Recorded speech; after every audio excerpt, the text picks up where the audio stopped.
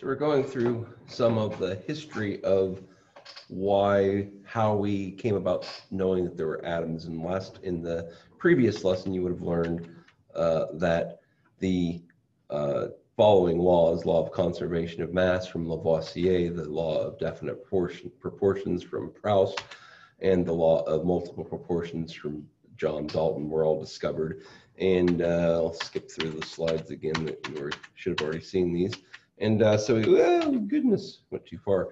And so now we're going to see how John Dalton, uh, the guy who came up with the multiple proportions law, he is going to put all this together, meld it all together into the first modern atomic theory.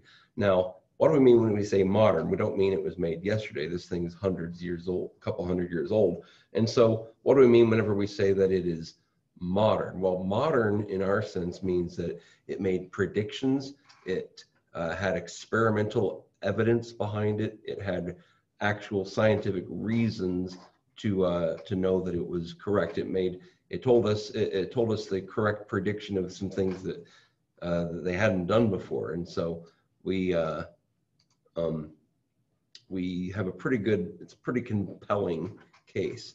So uh, what did he say? What did he? We're going to kind of walk through some of the, the his ideas and see how they relate to those laws that we just talked about. So the first thing he said was that uh, elements, elements, remember the idea of elements, the things that can't be broken down, the things that are just what they are. Um, he said the elements were cons consisted of tiny little particles called atoms. He borrowed that word from the Greeks.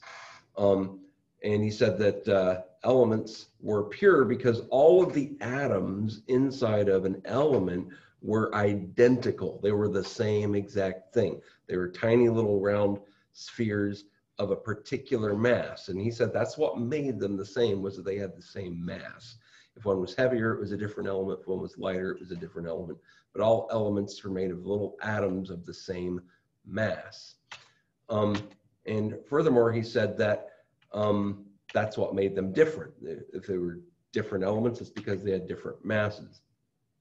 Then he said that a compound happened whenever atoms of different elements would bind together, connect together in uh, different specific ratios. You might have two of this atom and one of that atom, or three of this atom and two of that atom, but the ratio of atoms of the different kinds of compounds would determine what your, uh, I'm sorry, the ratio of the different elements would determine what compound you were.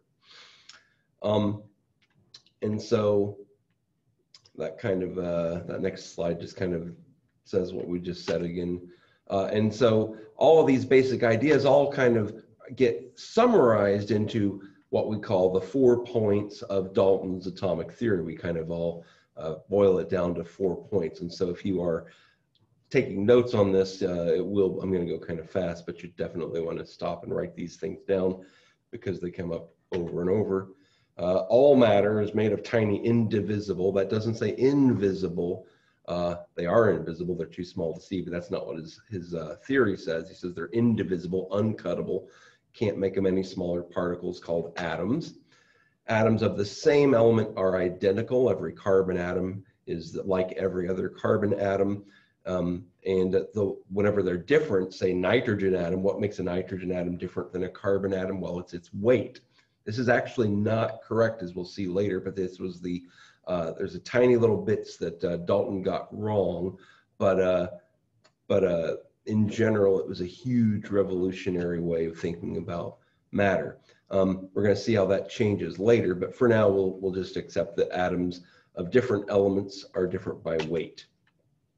The third thing, and this is correct even today, the uh, different elements combine in whole number ratios three to two, four to three, two to one, uh, one to one, some ratio of atoms coming together uh, will form a compound. It's like water is a compound because two hydrogens and one oxygen come together to make a compound. They stick together in that ratio. That's the third point. And the fourth point is that a chemical reaction involves the rearrangement of atoms um, no new atoms are created or destroyed. This was a new idea. And you'll see that all these things kind of point back to those, uh, they're, they're great explanations for those kinds of uh, laws that we saw earlier. We saw that, um, first of all, remember that uh, Lavoisier said that atoms can't be, uh, matter can't be created or destroyed. And Dalton saying, well, of course they can't. Of course they can't be destroyed because atoms, they're made of atoms and atoms don't uh, get created or destroyed. If you, if you burn a log, you, you kind of think of it going away. But what Dalton's saying is you're not burning any, you're not, you're, you're burning a log, but you're not destroying any matter. What you're doing is you're taking the atoms in that log and you're rearranging them into uh, different kinds of compounds with the air, with the atoms in the air to make different kinds of uh, atoms that weren't there before, uh, or not different kinds of atoms, different kind of compounds, rearranging, taking the atoms that exist, taking them apart, rearranging them in new ways. And that is what the, uh, the that's what a chemical reaction is.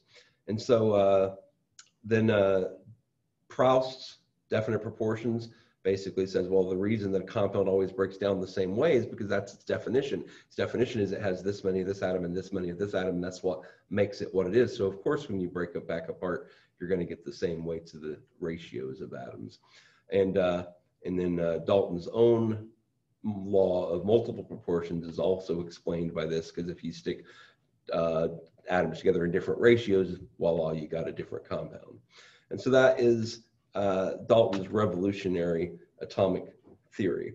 So after Dalton, though, there were a few new details that he didn't know about that led to new models. So the first modern, the first big model of the atom that you really need to know about. Democritus didn't really have a model of the atom, just had the word.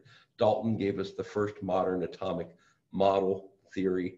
And it wasn't exactly perfect, as I sort of alluded to, but uh, it was a huge step in the right direction. And what we're going to see next are a couple of stories about how the model changed uh, with new information.